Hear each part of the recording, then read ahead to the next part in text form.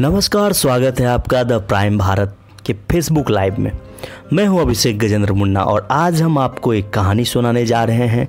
कहानी का शीर्षक है, आखिर चार लोग क्या कहेंगे? विदाई के बाद ससुराल की रीति और रस्मों से काफ़ी थक गई थी मंजुला। सोचा कि थोड़ा आराम कर लूँ, जैसे ही अपने कमरे में जाकर लेटी कि सास ने कहा, अरे बहू, चलो, बाहर लोग मिलने आए हैं। देखेंगे कि बहू सो रही है तो क्या कहेंगे? मन, मंजुला थकान को किनारे कर मेकअप ठीक कर सास के पीछे पीछे चल दी। मुँह दिखाई शुरू हुई। गलती से थोड़ा सा घूंघट सरक गया। तो तुरंत चाची सास ने आकर कहा बहू घूंघट ठीक कर लो चार लोग देखेंगे तो क्या कहेंगे?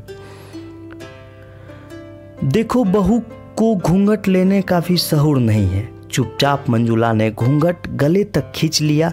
इतनी में, इतनी गर्मी में भारी घूंघट रखना मजबूरी हो गई थी। मंजुला ने सोचा कि चार लोगों वाली बात एक दिन की हो ही होगी, क्योंकि नई बहू को लोग ज़्यादा ध्यान देते हैं, लेकिन ये तो रोज़ का ही हो गया। हर बात पे चार लोगों की नज़र गड़ी रहती थी। मंजुला ने सोचा कि इस बारे में अपने पति दिनेश से बात करें, लेकिन कुछ सोच के चुप ही रही। एक दिन मंजुला ने दिनेश से बाहर घूमने जाने की बात कही। सास को भनक लग गई तो तुरंत आकर कहा, अरे, अभी तो कुछ ही महीने हुए हैं। शादी को ऐसे बाहर जाओगे तो चार लोग यही कहेंगे कि देखो शादी को साल भर भी नहीं हुआ और मियाँ बीवी चल दिए घूमने। मन मारकर मंजुला अपने पति के साथ चाय भी नहीं पी सकते थे। बैठकर क्योंकि अगर कोई देख लिया तो क्या कहेंगे? छत पर जाती ये सोचकर कि बाहर जाने को नहीं मिलता, कम से कम छत पर ही ठंडी हवा ले लूँ, लेकिन वहाँ भी चार लोगों की नज़रें दिखाई देती। समय अपनी गति से चलता जा रहा था। मंजुला और दिनेश के प्यार की निशानी भी इस दुनिया में आने वाले थे। उस समय भी चार लोग अपनी राय देने आ जाते।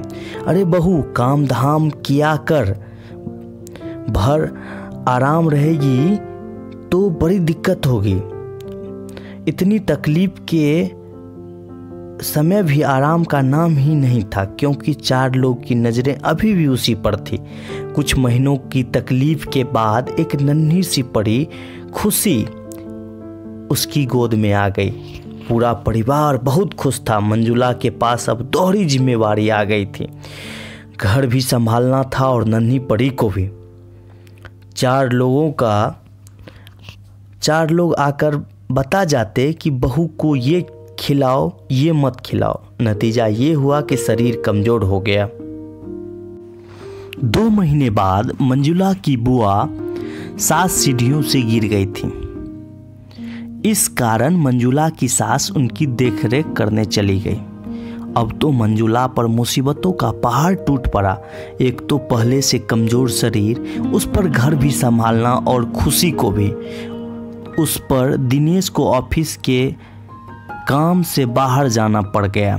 मंजुला कभी खाना बनाती, कभी भूखे सो जाती, कभी सुबह का खाना ही रात में गर्म करके खाती। बर्तन अब चार टाइम की जगह एक ही बार धुले जाते। नींद किसे कहते हैं, वो तो भूल ही गई थी। कुछ समय बाद जब सास वापस घर की हालत देखकर बड़बड़ाना शुरू कर दिया। जब कुछ समय बाद जब सास घर आई तो हालत देखकर बड़बड़ाना शुरू कर दिया। ऐसे कैसे रखते हैं घर? चार लोग देखेंगे तो क्या कहेंगे कि कैसी बहू है? घर भी व्यवस्थित नहीं रखती है। सास की बात सुनकर मंजुला का पारा गर्म हो गया। अब तो जितना कुछ अपने अंदर दवाई थी आज सब एक एक साथ बाहर आ गया। माँ जी, किसने हक दिया है चार लोगों को कहने का? जब मैं भूखी प्यासी थी, तब ये चार लोग नहीं आए। ये देखने की बहु भूखी है। दिन भर काम करते और खुशी को भी संभालते। थक जाती थी। तब ये तो चार लोग नहीं आए मदद करने। दिन भर और रात भर सो नहीं पाए, तब ये चार लोग नहीं आए। तो अब ये किस हक से और क्यों आएँगे चार लोग?